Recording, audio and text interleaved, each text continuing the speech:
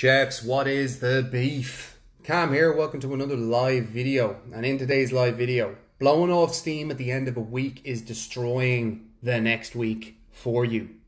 That's today's topic that we're going to be diving into. So,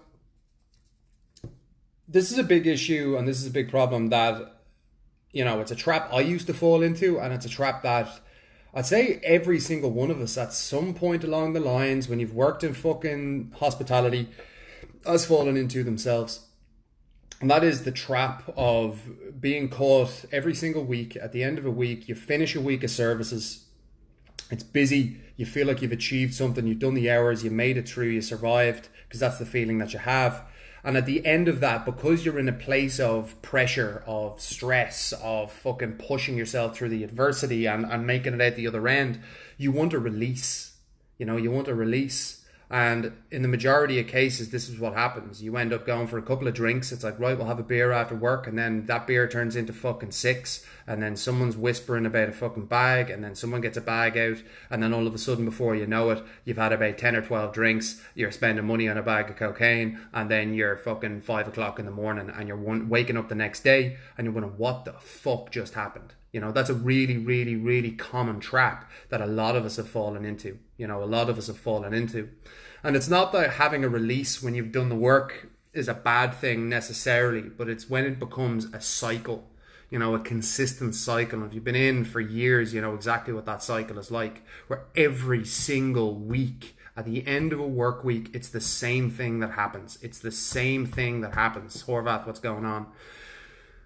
So this whole thing about blowing off steam, ultimately, where does that leave you? Well, the last service of a week when you're hungover and you're skagged and your headspace is fucked and you've just spent 150 to 200 quid, you know, on drink and drugs.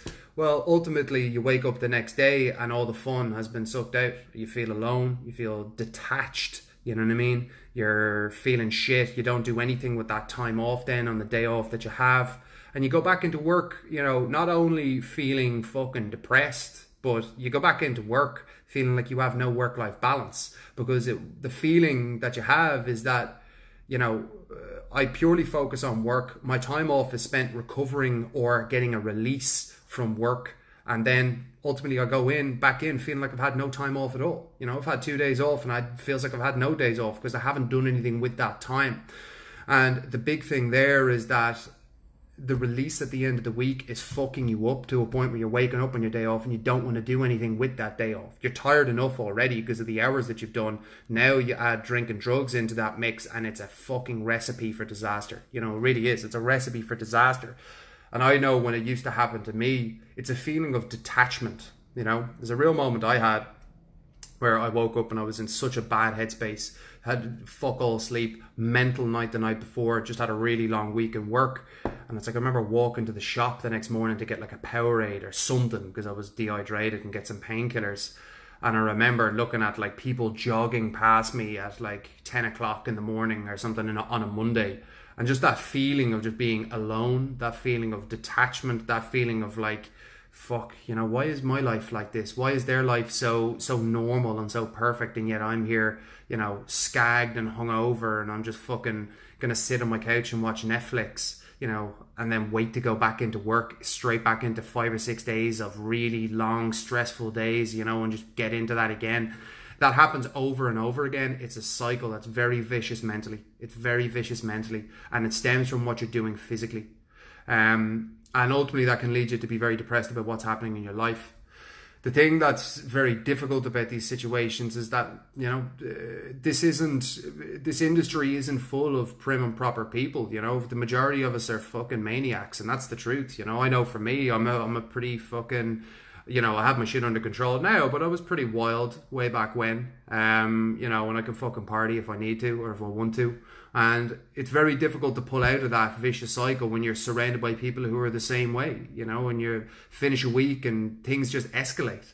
And you got to understand that you are the sum of the five people you spend the most time with. Like if you're surrounded by fucking vegans, you're going to start being a vegan. If you're surrounded by really aggressive bikers, you're going to ride around on a fucking motorbike with a leather jacket on because you are those people that you spend time with. Show me your friends, I show you your future. So when you're working with these people all the time who draw you into negativity and things that you don't want to be doing, it's very hard to pull out of because you spend so much time there. It's very, very difficult to pull out of. So the key thing here and the problem that you're falling into is that the vicious cycle that you're falling into is ultimately leading you to be unhappy because it's not the way you want to be living your life. In the moment, it feels great and it's a bit of fun. It's the aftermath that's the problem. And when that continues to happen over and over and over again, it leaks into all aspects of your life where you're just not being productive or you're not getting shit done that you'd like to get done. Key thing here is that you must find a positive release and you must create balance. Must find positive release, must create balance. So, positive release what does that mean? Well, a positive release means for a lot of the chefs that you know I coach are pers- my own fucking personal thing. You know, I've had to swap uh, blowing off steam with a bag or a load of drink on a nightly basis, and I've had to change that for training, exercise, meditation, jujitsu. You know, things that focus my mind but also make me feel good and you know make me feel good physically. So that fills with energy, self esteem, all of those good feelings that you get you must find positive release. For a lot of chefs, I always say structure is the key, routine is the key to your success there. You know, so first and foremost, applying mise en place to free time.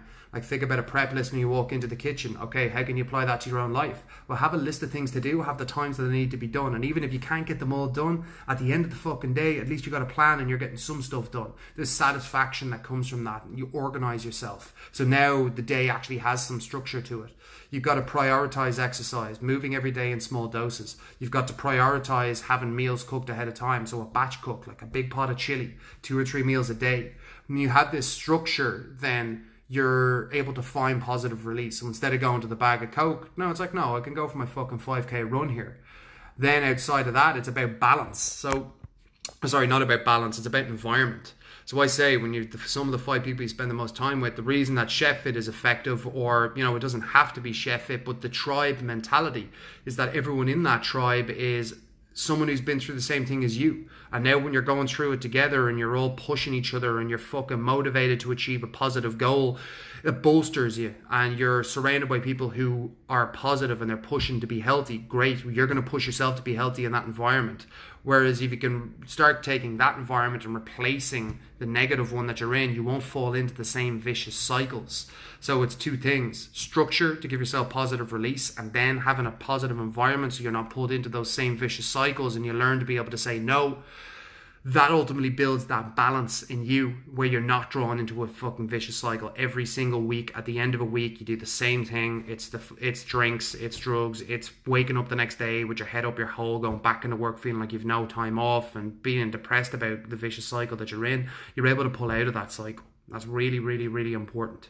So chefs, if you are in that cycle right now and you're in a space where it's like, shit, man, I don't have any work life balance, I don't feel good physically, and I always find myself going to vices to wind down or release, that's fine. What I want you to do, if you have not considered joining us, have a look at the link, click it, um, and if you're interested in making a change, join us for a 30 day trial, you know, and let's see if we can really turn this thing around with you, because I guarantee you we have, because we've done it with many chefs before.